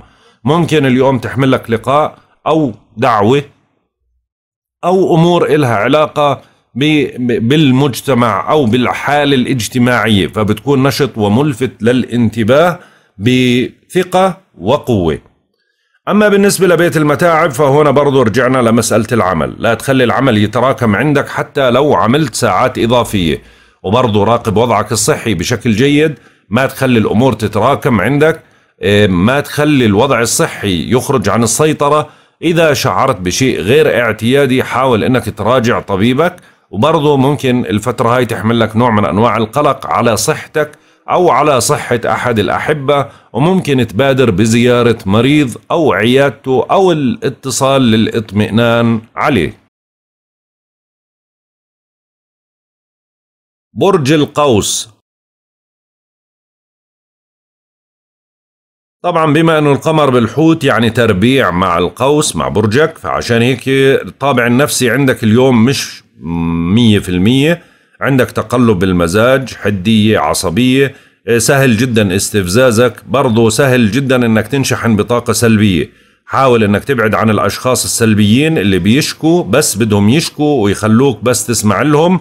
حاول إنك أنت تغير جو إلهي حالك بأي شيء. غير من شخصيتك غير من إيه، من قصة شعرك من لبسك من أي شيء. اهتم بالتجميل اهتم بالخروج المهم. إنك ما تستسلم للوضع النفسي والتقلبات النفسية. أما بالنسبة للبيت الثاني اليوم تحمل لك نوع من أنواع الفرص الجيدة على المستوى المالي. فممكن اليوم تحقق مكاسب من عمل إضافي أو دعم أو هبات أو مساعدات أو مستردات مالية. وممكن تهتم ببعض المسائل اللي لها علاقة بالمصاريف. أهم إشي إنك ترتب وضعك المالي بشكل جيد وما في داعي للمصاريف للزيادة. أما بالنسبة للبيت الثالث فالأجواء بتد يعني شوي فيها نوع من أنواع الضغط على مستوى الاتصالات والحوارات. ممكن تتلقى اتصال يعني شوي يستفزك أو إنه تستاء منه. ممكن اليوم تنشط بالحركة زيادة فهذا الإشي يتعبك. حاول قدر الإمكان إنك تراقب تحركاتك. ما في داعي للانفعال ما في داعي للتهور. ركز أثناء قيادتك للسيارة.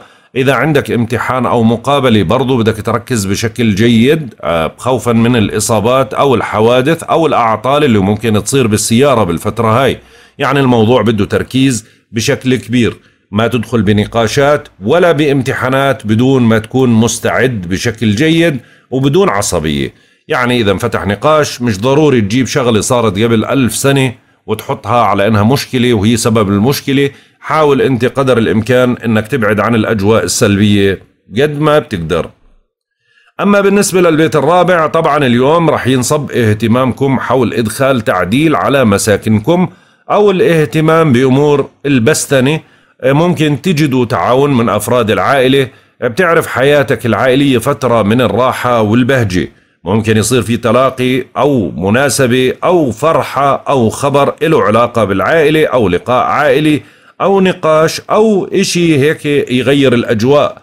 ممكن تهتم بمسألة لها علاقة ببيت أو بعقار أو بترحيل أو بأشياء بتتعلق كلها بعلاقة بيت وعائلة.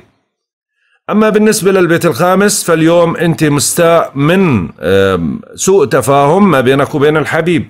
ممكن إنه تتذكر بعض المواقف ممكن شك غيرة إيه، ممكن أنت فاقمت الأمور بتفكيرك ممكن كبرت المسألة وما في داعي لتكبيرها ممكن تعيش أجواء سلبية على المستوى العاطفي اليوم. ممكن خلاف أو حوار أو نقاش. وبرضه ما بتقتصر هاي بس على الحبيب العاطفي برضو على أحد الأبناء وأحد الوالدين. حاول تمسك أعصابك قدر الإمكان وما تكبر الأمور وما تزيد الخلافات لأنه كل ما زدتها أكثر كل ما بعدت المسافة بينك وبينه أكثر. أما بالنسبة للبيت السادس فالأجواء جيدة بتدعمك على مستوى العمل تدعمك على مستوى الصحة. ممكن يكون لك بعض الاهتمامات اليوم في إنجاز أعمال معينة أو عمل معين أو مشروع معين. بدعمك الحظ في هاي المسائل وممكن يساعدك. لتحقيق إنجاز جيد. وممكن تطلع نتيجة فحص تكون لصالحك. أو إذا كنت بالفترة الماضية شاعر ببعض التعب أو الإرهاق ممكن اليوم تحس إنه صحتك أحسن وفي إيجابية أكثر. أما بالنسبة للبيت السابع فهنا برضو رجعنا للخلافات على مستوى بيت الشراكة المالية والعاطفية. ليش؟ لأنه هنا راح تضغطك بشكل سلبي على مستوى أمور إلها علاقة بالأزواج. ممكن موضوع ممكن خلاف قديم ممكن موضوع معين ممكن شك غيرة ممكن إنه تحس إنه مقصر بحقك ممكن إنه تشعر بأي إشي سلبي اليوم اتجاه الزوج. فعشان هيك ما تخلي الأمور تظهر على الساحة وتكبر وتدخل وتصير خلاف كبير لأنه الفترة هاي بالذات العلاقات الضعيفة عندها قابلية للانفصال. فحاول إن قدر الإمكان ما تفاقم الأمور. أما بالنسبة للبيت الثامن فالأجواء جيدة وبتدعمك بقوة على مستوى أمور إلها علاقة بالبنك أو الضريبة أو التأمين أو المستردات المالية أو حقوق إلك بتحاول تجيبها أو مشاريع مالية أو مشاريع تجارية. آه، دعم. آه، اي أي شيء له علاقة بالوضع المالي الفترة هاي هو لصالحك. حاول يعني تكون مستعد لبعض المكاسب وتنشط وإذا كان في عندك معاملة وكانت فاشلة بالفترة الماضية ممكن اليوم تكرر المحاولة وتكون النتيجة لصالحك. إذا عندك نقاش على موضوع قرض أو إرث اليوم ممكن تناقش فيه وتكون الأمور برضو لمصلحتك. أما بالنسبة للبيت التاسع فاليوم أنت ممكن تتلقى اتصال يعني شوي ينكد عليك. من خارج البلاد أو يكون لك تعامل مع أجنبي أو مع واحد من خارج البلاد شوي تحتد آه، أو تعصب أو تزعل أو تتضايق من تصرفاته. ممكن تدخل بخلافات أو نقاشات حادة. حاول تبعد عن النقاشات قدر الإمكان. إذا كان عندك مقابلة أو امتحان بدك تستعد بشكل جيد. حاول ما تعتمد على الحظ يعني الحظ مش داعمك بالفترة هاي. أما بالنسبة للبيت العاشر فالأجواء جيدة وبتدعمك على مستوى بيت السمعة وبتعزز من علاقاتك مع زملائك ورؤسائك بالعمل. فاليوم تقدر تنجز أعمالك بشكل جيد وممكن تسمع كلام في إطراء أو ثناء على جهدك أو على قدرتك وتكون الأمور حليفة لإلك أو داعمة لإلك بشكل كبير. حاول تستغل الأشياء الإيجابية لأنه رح تحقق من خلالها مكاسب ممكن تكون فيها ترفيع أو يكون فيها عمل جديد. أما بالنسبة لبيتك 11 فاليوم ما عندك الرغبة للتواصل مع الأصدقاء ما عندك الحيوية أو الطاقة الكبيرة لعمل علاقات أو لتطوير علاقات ممكن تقتصرها على أشخاص معينين. ممكن تستاء من تصرف بعض الأشخاص أو الأصدقاء اللي بيحاول إنه يتدخل أو يكون فضولي أو إنه ما بيحسب حساب لعواطفك فبحشر حاله أو بده يعني يشعرك إنه أنت مجبر إنك أنت تساعده وتوقف أنت جنبه ما بيقدر إنه أنت بوضع نفسي بحاجة لمين يساعدك. أما بالنسبة لبيت المتاعب فالأجواء تقريبا يعني اليوم تدعمك على مستوى العمل وعلى مستوى الصحة وممكن تحقق بعض الإنجازات الجيدة أو تدعمك بعض المسائل الجيدة خلال هذا اليوم وتنجز بعض الأمور اللي تكون لصالحك على المستوى العملي أو على المستوى الصحي. ممكن تقوم بزيارة مريض أو عيادة مريض أو الاطمئنان على مريض بيعز عليك أو آه، يعني في علاقة ما بينك وبينه. برج الجدي طبعا اليوم نفسيتكم أحسن آه، عندكم ثقة بالنفس عالية عندكم رغبة اليوم للتحرك وللتغيير آه، يعني شوي قلت السلبية آه، الطاقة السلبية هاي اللي كنتوا مشحونين فيها في الفترة الماضية شوي اليوم بتخف تحس إن اليوم عندك طاقة أكبر وعندك رغبة للتحرك أكثر وعندك كثير من المهام حاب إنك تنجزها خلال هذا اليوم وراح تنجزها إذا تحركت. يعني حاول إنك برضو تستغل بعض الأشياء الاجتماعية أو أخرج للقاء الناس عشان إنه أنت تستفيد بشكل أكبر. أما بالنسبة للبيت الثاني الأجواء ما زالت هي الأمور المالية المقلقة بالنسبة لإلك. تراكمات الوضع المالي أو الالتزامات أو المصاريف أو تعطل مسألة مالية معينة هي اللي مربكيتك بالفترة هاي. ممكن يعني شوي تكثر المصاريف أو المطالبات المالية عليك أو الضغط المالي أو التفكير بالوضع المالي هو أكثر إشي يكون مرهق بالفترة هاي. أهم شيء أنك تبعد عن المصاريف الغير مرغوب فيها أو المصاريف الزيادة. رتب وضعك بطريقة عقلانية ما تدخل بمجازفات أو مراهنات مالية بالفترة هاي. ورتب وضعك المالي على حسب يعني قدراتك أو على حسب استطاعتك. أما بالنسبة للبيت الثالث فاليوم بتكثر عندكم الاتصالات والتنقلات. أهم شيء أنكم تكونوا أكثر صبر أثناء قيادة السيارة داخل المدن. علاقاتك اليومية وتنقلاتك بتكون ممتعة وبتستفيد من علاقاتك مع المحيط. اليوم إذا كان عندك مقابلة أو امتحان راح تقدم بشكل جيد. عندك سرعة بديهة عالية وقدرة على الإقناع برضو حتى في التسويق. ممكن يكون لك اليوم تعامل مع أخ أو مع جار بشكل إيجابي. أما بالنسبة للبيت الرابع فما زالت الأجواء على مستوى البيت هي اللي بس بتحمل نوع من أنواع الضغوط. ممكن تتوتر علاقة عائلية أو تظهر مسألة عائلية فيها نوع من أنواع الخلاف أو تستاء من تصرف أحد أفراد العائلة أو مثلا عطل له علاقة بالبيت أو بالعقار أو أعمال منزلية بتكون مربكة أو واجبات عائلية بتكون مربكة. أهم شيء أنك ما تعمل فجوة ما بينك وبين العائلة حاول تخلي فيه تقارب وتلاقي بشكل كبير ما بينكم خلال هاي الفترة. أما بالنسبة للبيت الخامس فالأجواء تقريبا جيدة على المستوى العاطفي فهاي بتعزز من علاقتك ما بينك وبين الحبيب. ممكن تحمل تلاقي أو مصالحة أو يعني تفاهم على مسألة معينة. ممكن تخرج بنزهة أو ترفيه أو تهتم ببعض المسائل الأدبية أو الفكرية أو في مسألة بتتعلق بهواية لإلك.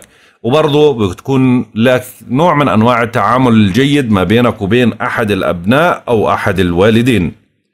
أما بالنسبة للبيت السادس فالأجواء ضاغطة على مستوى العمل وعلى مستوى الصحة.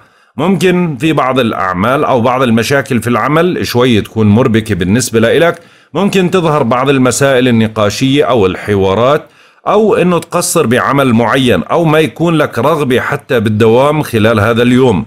حاول إنك تنجز أعمالك وما تخليها تتراكم وبرضه راقب وضعك الصحي بشكل جيد وما تسمح للتقلبات إنها تأثر على صحتك أو على نفسيتك في العمل. أما بالنسبة للبيت السابع فالأجواء جيدة وبتدعمك على مستوى بيت الشراكة أو الشراكة المالية والعاطفية بتحملك على نوع من أنواع التلاقي أو على نوع من أنواع المصالحة أو المبادرة بالتلاقي ما بينك وبين الحبيب بالفترة هاي. الأجواء جيدة وخصوصا بعلاقتك مع الزوج فهذا الإشي ممكن يحمل مصالحة أو توضيح لوجهات نظر أو لخلاف كان بالسابق اليوم يتوضح بشكل إيجابي. أهم شيء أنك تتلاقى أنت والشريك بشكل إيجابي وممكن اليوم بعض الأمور إذا كان في عندك أمور قضائية ممكن تجيك بعض المعلومات اللي تكون لصالحك. أما بالنسبة للبيت الثامن فهنا برضو رجعنا للضغط المالي ورجعنا لأمور لها علاقة بالأموال المشتركة والالتزامات أو مصاريف أو أمور لها علاقة ببنك أو ضريبة أو تأمين. شوي فيها عليها نوع من أنواع علامات الاستفهام أو بعض المشاكل اللي بتحتاج منك جهد أكثر لحلها. أما بالنسبة للبيت التاسع اليوم تكثر بالاتصالات والحوارات والتواصل مع أشخاص خارج البلاد. ممكن يكون لك تعامل مع أجنبي أو مع شخص خارج البلاد أو بتقدر تنجز بعض الأوراق القانونية أو المعاملات اللي بتكون لصالحك خلال هذا اليوم. أهم شيء أنه إذا كان عندك مقابلة أو لقاء اليوم أو مناقشة بتقدر تثبت وجهة نظرك وعندك قدرة على الإقناع عالية جدا. أما بالنسبة للبيت العاشر فهنا بيت السمعة بنقول لك دير بالك ما تشوه سمعتك. ما تدخل بمجازفات أو مغامرات أو مخالفات قانونية بالفترة هاي. يعني في علامة استفهام على وضع السمعة. دير بالك إنك تفاقم الأمور وتكبرها وتشوه سمعتك بالفترة هاي. برضو ما تدخل بخلافات أو نقاشات حادة ما بينك وبين زملائك أو رؤسائك بالعمل. حاول إنك تنجز أعمالك بالوقت المناسب. حاول ما تتأخر وما تتغيب. وحاول إنك ما تخلي الأعمال تتراكم بشكل كبير. أما بالنسبة لبيتك 11 فالأجواء جيدة. اليوم بتوعدك بعلاقات جيدة ما بينك وبين الأصدقاء. ممكن مرافقة أو اتصال أو حوار أو لقاء أو تعارف. ممكن يتوجه لك دعوة لحضور حفلة أو مناسبة. أو ممكن تنشط أنت باتصالاتك ما بينك وبين الأصدقاء للقائهم أو للتواصل معهم أو لزيارتهم. أما بالنسبة لبيت المتاعب فالأجواء ضاغطة. فعشان هيك بنقول لك دير بالك. من أي شيء له علاقة بتراكم الأعمال من تراجع الوضع الصحي من بعض التقلبات الصحية من أمور إلها علاقة بتراكم العمل زي ما حكينا. وبرضه ممكن تحمل لك نوع من أنواع القلق على صحتك أو على صحة أحد المقربين أو على صحة أحد الأحبة. حاول أنك تشحن حالك بطاقة إيجابية وممكن أنه اليوم يعني يجيك خبر شوي يكون مزعج إذا ما مسكت أعصابك ممكن أنه تفرط المسألة. برج الدلو. يعني الأجواء مش لصالحك كثير نفسيا أنت متقلب اليوم. يعني هي بتدعمك شوي نفسيتك أحسن من الأيام الماضية ولكن ما زال في نوع من أنواع الضغط ما زال في نوع من أنواع الإرباك.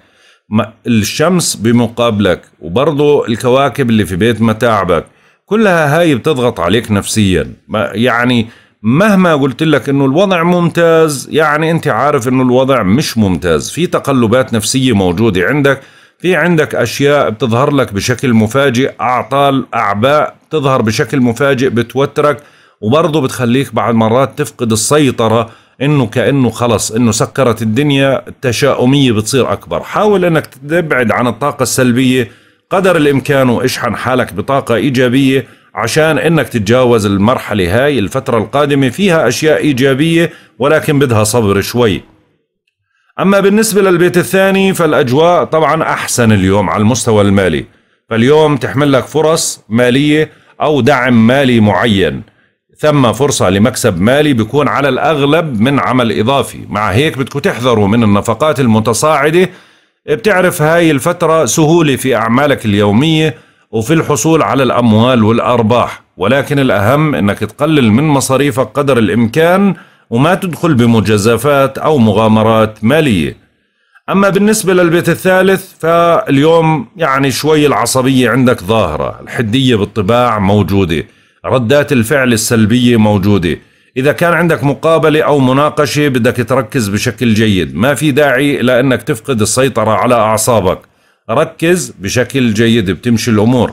إذا كان عندك اليوم آه، يعني تنقلات انتبه أثناء قيادة السيارة.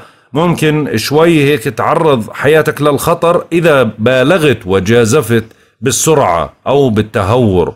راقب سيارتك واعمل لها فحص دوري. ما تخلي عطل يتفاقم ويكبر فيها.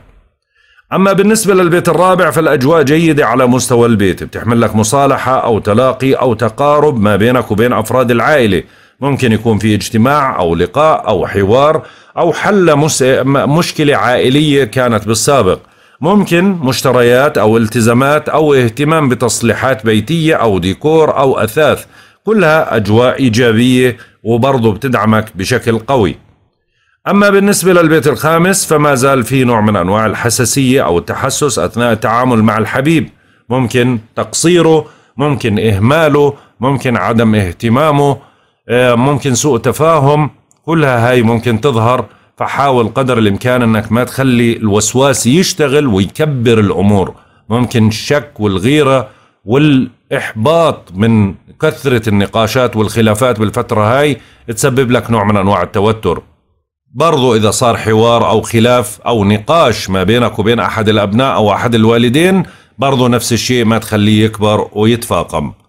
أما بالنسبة للبيت السادس فالأجواء جيدة على مستوى العمل وبتدعمك بشكل قوي وفي فرص للعمل جيد اليوم وممكن تقدم لعمل جديد أو يجيك موافقة على عمل جديد أو إشي يدعم تصوراتك. برضو ممكن إذا كنت تشعر بتعب بالفترة الماضية اليوم بتلاقي الصحة أحسن وبتتماثل للشفاء بشكل أفضل.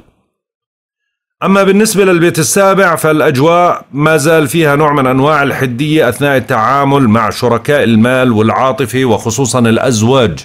في ما زالت الأمور ضاغطة خلافات قديمة لسه بترجع بتنفتح سوء تفاهم ما في استيعاب من الزوج لحقوقك أو متطلباتك بالفترة هاي.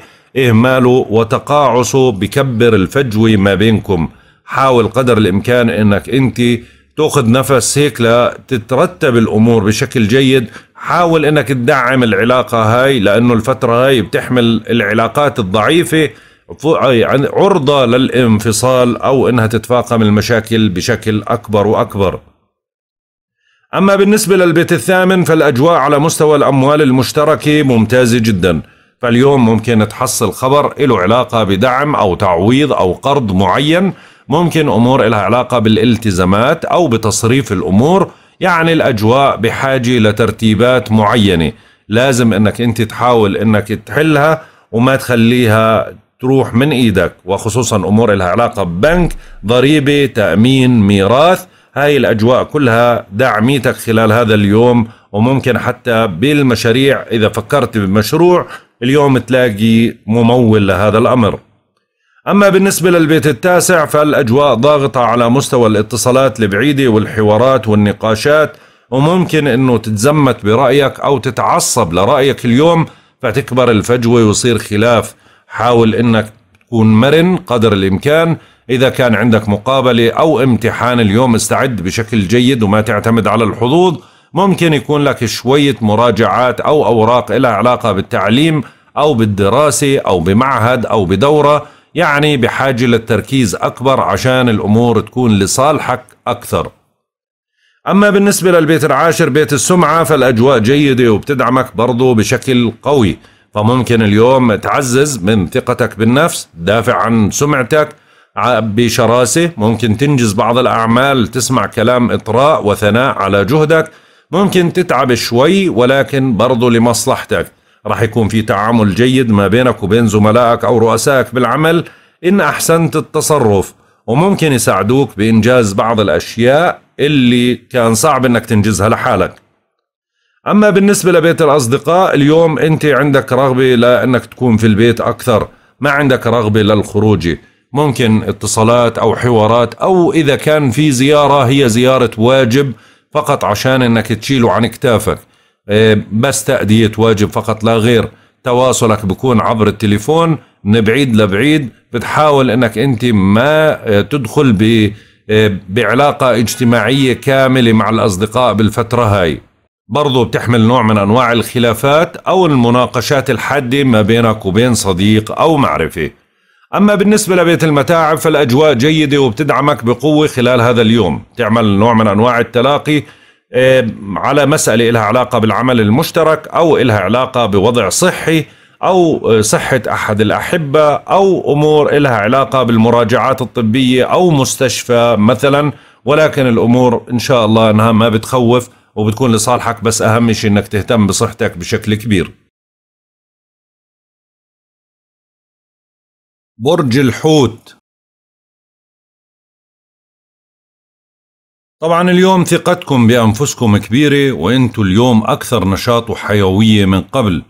بوسعكم السيطرة على زمام الأمور والدفع بمصالحكم بتقضي فترة من الهدوء والسكينة والطمأنينة على المستوى النفسي. اليوم أحسن من الفترة الماضية اهتماماتك بنفسك أكثر. اليوم حاب تعمل نوع من أنواع التغيير على مستوى ممكن قصة الشعر أو على مستوى حتى المظهر أو اللباس. يعني اهتماماتك اليوم النفسية عالية جدا وسهل جدا أنك تشحن حالك بطاقة سلبية.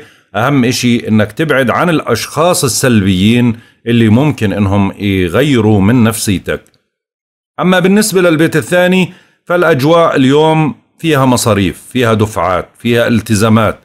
فيها تراكمات مالية. حاول إنك تبعد عن المشتريات الغير ضرورية. حاول إنك ما تبذر أموالك. ركز بشكل جيد لأنها بتحمل مصاريف زيادة. حاول برضو إنك تحافظ على أموالك من السرقة أو الضياع. أما بالنسبة للبيت الثالث فالأجواء جيدة وبتدعمك على مستوى الحوارات والاتصالات. أنت اليوم مشحون بطاقة إيجابية عالية جدا. عندك قدرة على الإقناع والحوار والاتصالات ورغبة للخروج أو للنزهه أو لتغيير الجو قويه إذا كان عندك امتحان أو مقابله اليوم رح تبدع بشكل جيد إذا كنت مستعد إلها. ممكن اليوم تحمل لك اتصالات أو حوارات كبيرة. أما بالنسبة للبيت الرابع على مستوى البيت شوي في نوع من أنواع التقصير. ممكن خلاف أو نقاش أو أعمال منزلية أو التزامات أو قلق على أحد أفراد العائلة. ممكن تحمل لك مشكلة معينة أو عطل معين أو آه، أعمال منزلية شوي بتكون مربكة بالفترة هاي. حاول أنك ترتبها بشكل جيد وتبعد عن أي إشي ممكن يغير من مزاجك. أما بالنسبة للبيت الخامس الأجواء على المستوى العاطفي أحسن اليوم. تحمل نوع من أنواع الاهتمام بالتجميل وبرضو على المستوى العاطفي تلاقي الحبيب وبرضو اهتمامات إلها علاقة بالأبناء أو إلها علاقة بالوالدين. الأجواء إيجابية وداعمة حتى على المستوى الفكري والفني. يعني عندك قدرات هائلة اليوم. حاول إنك تستغلها وطاقة إيجابية بتدعمك وبتدعم تصوراتك. أما بالنسبة للبيت السادس فالأجواء شوي على العمل ممكن يتراكم عندك بعض الأعمال أو تحبط من عمل معين أو إنه مثلا تقصير بعمل معين أو مساءلة على عمل معين. الأهم أنك تراقب صحتك وتراقب عملك بشكل مباشر ما تخلي الأمور تتفاقم وتكبر وما تخلي الخلافات حتى على مستوى العمل ما بينك وبين زملائك أو رؤسائك بالعمل إنها تكبر. أما بالنسبة للبيت السابع فاليوم بيحمل نوع من أنواع المصالحة أو التلاقي ما بينك وبين الشريك شريك المال أو شريك العاطفة أو ما بين الأزواج. ممكن تحلوا مسألة معينة ممكن تتلاقوا على هدف معين أو مصالحة معينة أو تتراجعوا عن قرار سابق. الأجواء جيدة وبتدعم فحاول ما تست يعني ما تخلي الخلاف يكبر أو يصير خلاف ما بينكم. خلي الأجواء إيجابية وخلي التلاقي ما بينكم إيجابي.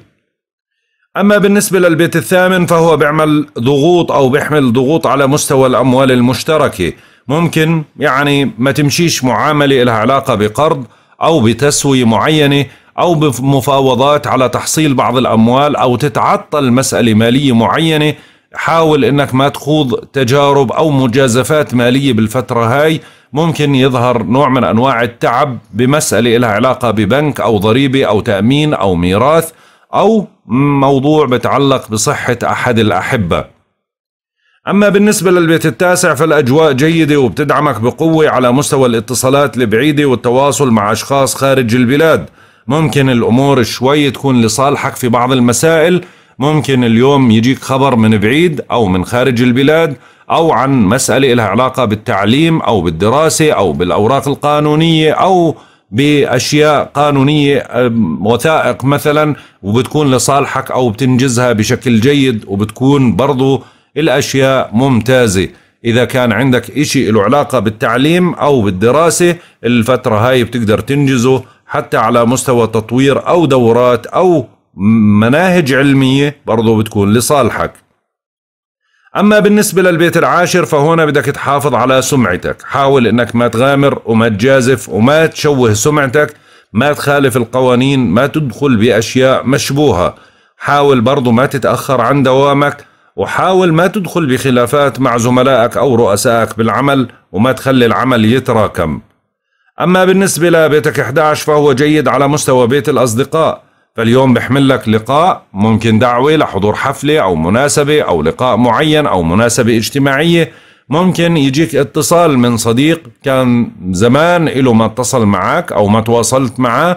ممكن يصلك خبر برضو صار بسبب أحد الأصدقاء. وممكن أحد الأصدقاء يساندك في مسألة معينة أو يساعدك في موضوع معين وأنت تسعد من وراء هذا الأمر. أما بالنسبة لبيتك 12 فهنا بنقول لك بدك تدير بالك. يعني شوي بيت المتاعب ضاغط شوي فعشان هيك بيراكم عندك بعض الأعمال بخليك تخطئ في بعض الأعمال أو إنجازها. بدك تركز بشكل جيد. وبرضه في نفس اللحظة بيعمل نوع من أنواع التقلبات الصحية. راقب وضعك الصحي راقب غذائك خذ قسط كافي من الراحة. حاول إنك أنت برضو نفس الإشي إنك تراجع طبيب. إذا شعرت بشيء غير اعتيادي حاول إنك تأخذ أدويتك بوقتها بميعادها ما تهمل بالأدوية وما تبالغ بأخذ المسكنات أو المهدئات بالفترة هاي. أما بالنسبة لصحة الأحبة فممكن تقلق بصح بشأن صحة أحد الأحبة أو بسبب ظرف معين بمر فيه حبيب فتقلق وتحاول إنك تساعده قدر الإمكان أو ممكن زيارة مريض في مستشفى أو عيادة مريض في البيت. هيك بنكون انتهينا من توقعاتنا لهذا اليوم. والله أعلم. يا رضا الله ورضا الوالدين سبحانك اللهم وبحمدك أشهد أن لا إله إلا أنت أستغفرك وأتوب إليك. أترككم في رعاية الله وحفظه. إلى اللقاء.